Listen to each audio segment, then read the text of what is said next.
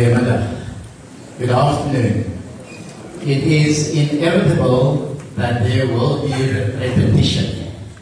But let us regard the effect of repetition as to emphasize. And there certainly is a need to emphasize several of Clute's characteristics and contributions. My dad is in hospital. He is non-responsive. You can come to the hospital if you like. 'n WhatsApp boodskap van Ryan verlede Sondagmiddag. Geskok haas ek my na die hospitaal. Dit is dan slegs 'n paar dae nadat ek prof en Doreen vir 'n lang tyd besoek het en lank gekuier het. Tot sins prof het ek sag en eerbiedig terwyl ek oor sy silwer hare streel. En anders as die ontelbare kere oor 'n tydperk van bykans 40 jaar as vriende en 18 jaar as kollegas aan die IDK groet hy nie terug met sy kenmerkende hartlike tot sins ou maat nie. Toe ons die hospitaal bewoon en verwese verlaat, is dit donker koud, nat, triestig. Tuis gekom stuur ek 'n boodskap aan ons gemeenskaplike tennisvriende. Die einde van 'n era. Ek is pas terug van die hospitaal waar ek die voorreg gehad het om van ons dierbare, eerbare, tegemoetkomende, medemenslike, nederige en diep gelowige maat afskeid te neem en vir Dorie en die seuns te ondersteun. Rus in vrede, Rufino, sluit ek my boodskap hier af. Die reaksies is oombliklik en opreg. Ek haal aan, jou woorde beskryf die statige man en die slegte nuus want hy was 'n dierbare vriend sonder enige pretensies. Julle twee was 'n interessante kombinasie. Hy het jou vreeslik laat skarrel agter die balle aan wanneer julle dubbels gespeel het. En sommer weer profsake tussenin gepraat het terwyl julle wag vir die volgende wedstryd. Ek sal hom mis. En 'n ander vriend skryf, hy het diep spore getrap en diep in ons harte gekry. Vir my was prof die akademikus pertinent en spesifiek prof die deurwinterde IWK akademikus met 'n nasionale statuur en uitgebreide internasionale netwerke. IWK die fascinerende hoër onderwysinstelling waar ons in verskillende hoedanighede betrokke was in aggenome ons ouderdomsverskil van 15 jaar. IWK, die wyd erkende uitnemende nasionale bate waar die prof Daan 'n bydrae van onskatbare waarde gemaak het. Toe ons onderskeidelik in 1979 en 1982 as dosente begin het, was IWK besig om momentum op te bou vir grondige verandering. En akademici moes en sou 'n deurslaggewende rol speel in die van der Bos oorgangsera op weg na die verdere herdefineringsfase. En Gideon Daniel Klute sou blyk 'n besonder belangrike aanstelling te wees. Die taak voorhande sou nie maklik wees nie. Dit is verslot van sake voorafgegaan deur 'n era toe respiki prostiki bloot 'n fasade was vir afsonderlikheid en minderwaardigheid. 'n era waar tydens daar herhaling verwys is na die universiteit as Bush College. 'n Era van versoelde dosente met vergeelde Unisa notas wat in geradbraakte taal Engels byvoorbeeld sê Napoleon did not have many money. En Britain waived the rules in plaas van Britain ruled the waves. 'n Era toe 'n professor die moed gehad het om te skree, kom terug jou laffa, ek is 'n boer, ek is 'n boer, toe 'n student sy klas ontrig. 'n Era van ondergeskiktheid en 'n aparte identiteit. 'n Era waar, soos gerapporteer, die dekaan van gesondheidswetenskappe van Stellenbosch Universiteit in 1968 by 'n gradeplegtigheid sou gesê het verwysende na genetiese gevare I refer to the dangers of intermixing with genetically bound heredity and cultural characteristics which differ so much from your nation that there is a danger of bringing degeneration upon your people. I refer specifically to intermixing with the Bantu. Die era van die bruin mense is ons mense. Die era van ons het maar saam met die paas gekom. That was the nature of the beast academic Dan Klute would have been faced with. He did not flinch. He did not retreat. He was well equipped. He was up for the challenge and proved it beyond doubt as he progressed through the ranks with increasing recognition and stature. UWC was in dire need of academics like him. Academics who, in some instances, have been defined as organic intellectuals. Those who could help build awareness among the masses as they are intellectuals who rose to the professional standing from a social class that typically does not produce intellectuals and yet remain associated with that class, unlike traditional intellectuals. Maar die politieke ontwaking op kampus het reeds ver gevorder. Aanvanklik gedryf deur studente met onder meer die slagspreuk ek hoop onthou dit so goed. You are either part of the problem or part of the solution. En was die universiteit nie geseën met verskeie indrukwekkende studenteleiers en toekomstige leiers juis ook uit Tokkelok geleedere nie. The Ethnic University has become a site of struggle against injustice and oppression. And the air was filled with the sound of an unstoppable locomotive. Boots, boots. Doo doo, doo doo, doo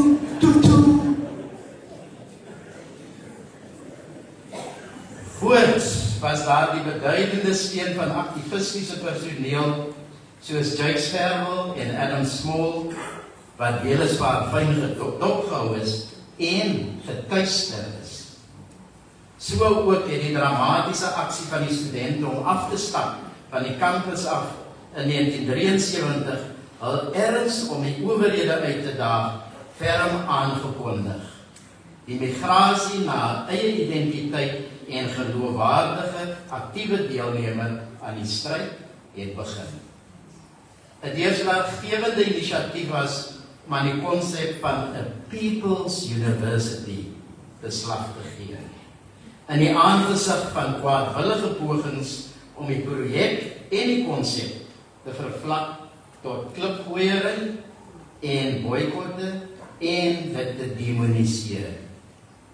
Die skeptici en die kritikasters moes egter tot hulle ontnigtering uitvind dat die nuwe transformerende projek on stuitbaar momentum opgebou het. Die universiteit het meer toeganklik geword en baie departemente het vlits begin herkurikuleer en terselfdertyd al navorsing en akademiese werk in die algemeen sosiaal, polities en ideologies begrond. Dit was dan geen verrassing nie dat prof Daan toegewyd en entoesiasties meegewerk het en 'n bydrae gelewer het tot left scholarship in sy eie vakgebied. En in hierdie verband kom die verwysing na bevrydingsteologie ook op by my. Voorts moes die vervanging van die administratiewe stelsel, ek het van pas verwys na die akademie, die administratiewe stelsel waar bleek bureaukrate die scepter geswaai het, moes vervang word met 'n stelsel van goedaardige bureaukrasie, benevolent bureaucracy wat die akademiese projek sentraal gestel het. Rektor Gerwel het vertrouelinge en vreeslose ondersteuners nodig gehad teen die donker pakke, wit hemde en swart tasse. En hy kon staan maar op Prof Daan se vermoëns, sy lojaliteit en steun in sy rol as dekaan wat 'n akademiese senior hoof sou wees. Voorspelbaar sou akademikus van die formaat van Prof Dekaan van Prof Daan en sy uitstekende administratiewe vaardighede nie net vir vakkundige leierskap beskore wees nie. Sy aanstelling as dekaan en as waarnemende rektor is 'n bewys hiervan. En ek kan nie nalat om vir aan u hierdie anekdote voor te hou nie. Ek en Prof Daan het die twyfelagtige voorreg gehad om saam met ander bestuurslede gijslaer gehou te word tydens sy periode as waarnemende rektor. Hieroor het ek hom goedig bly spot.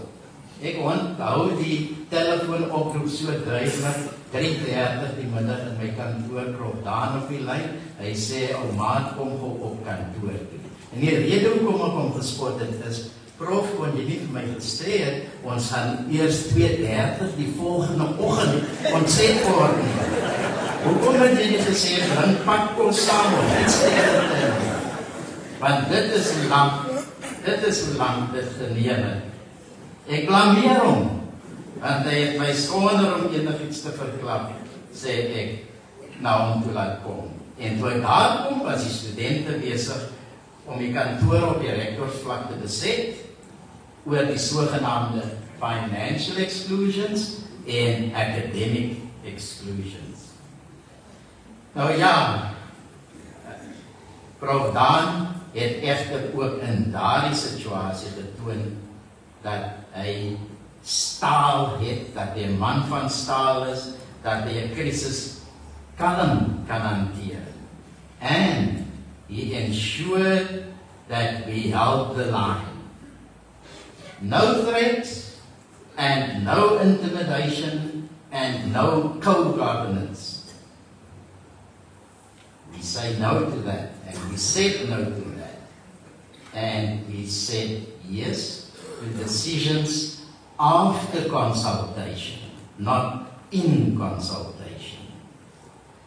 You will agree that Prof. Daan's impressive academic achievements have been attained against the odds. He managed, however, to tick all the boxes. Enthusiastic lecturing, prolific research, sustained community engagement, and efficient academic administration.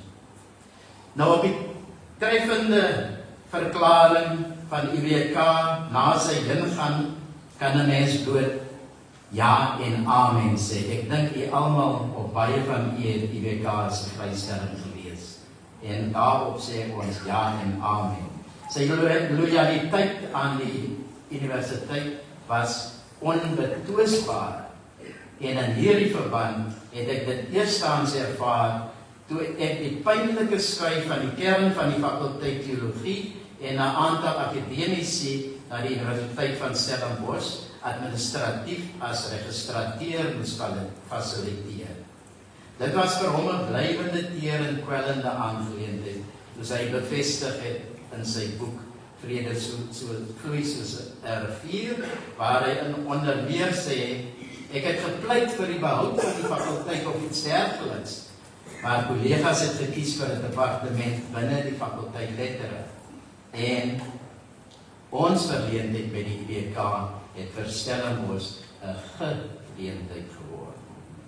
En opsigte hiervan het ek het die voordeel van terugskouing vir hom gesê Mia culpa Provian ek dink jy was reg.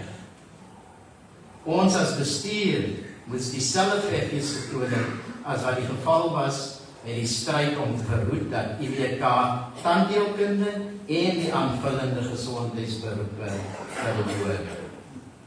'n Mens vir mens verloor nie sonder meer 'n kroonjuweel nie. Maar tot sy eer en so tipies van Prof Daan het hy geen verwyte gevoester nie. Hy het eerder pynsend daaroor bly reflekteer en so neem ons afskeid van en gee ons erkenning aan 'n geliefde en bekroonde akademiese swaargewig wie se lewe en werk onder meer gekenmerk word deur protes teen ongeregtigheid en stryd vir sosiale geregtigheid. Hy het sy omvangryke bydrae as akademikus op sy eie unieke kenmerkende manier gemaak en duisende studente se lewens grondig beïnvloed. Slagspreuke en retoriek het hy oorgelaat aan diegene met die talent en aptyd daarvoor. Gemeenskaplike belang eerder as eie belang sou by hom voorrang geniet. Beginselvasheid om teen 'n prys en dit was 'n prys wat hy bereid was om te betaal terwyl hy hom toegewy het aan sy beroep en getrou gebly het aan sy roeping. Maar hy balans aan daar. Ek het dink al 'n kykie daarop gekry. So tussen die akademiese en administratiewe gesoog en gesweet het hy nie net die geloof bou nie, maar ook 'n balans deur sy geliefde sosiale tennis oor baie jare te speel. Genot en ontspanning was voorop. Wen 'n wysa en grappies en goeie gespot deel van die gereelde samekomste. In die proses is prof se houe al as onortodoks gereformeerd beskryf. En as ons weer agtergeloop het, het hy my herinner aan die rugbywedstryd van sy tuisdorp teen sy buurdorp. Prof was So vertel hy met net 10 minute oor was dit 30-0 agter. En prof sê en toe roep die kaptein, toe roep ons kaptein ons by mekaar en hy sê manne nou gaan hulle bars. En as ons 'n moker uit die gebeure het nie, was hy uitroep. Never get the talent, sorry. ons eerprof daan 'n vriend en ou kollega en 'n uitsonderlike Suid-Afrikaner en ons eer hom vir 'n monumentale veelkantige en onuitwisbare nalatenskap intellektueel skerp akademies paraat moreel onaanveegbaar en te gelyk dienskneg en knyger En so word ons armer aan intellektuele kapasiteit, integriteit, waardigheid, medemenslikheid en deernis. Profet tot met ons laaste gesprek sy onbetwiste hartstogtelike verbondenheid aan ons wye en droewe land behou. Wat gaan ons doen? Het hy bekommerd met sagte oë gevra. Ek roep sy tenger figuur in my geesteskoop op. Soos hy verlede donderdag oor die pad na die parkie stap nadat hy my afgesien het. tenger, maar tog inherent vuur. Wat gaan ons doen? Sou die antwoord kon wees respecte, prospecte.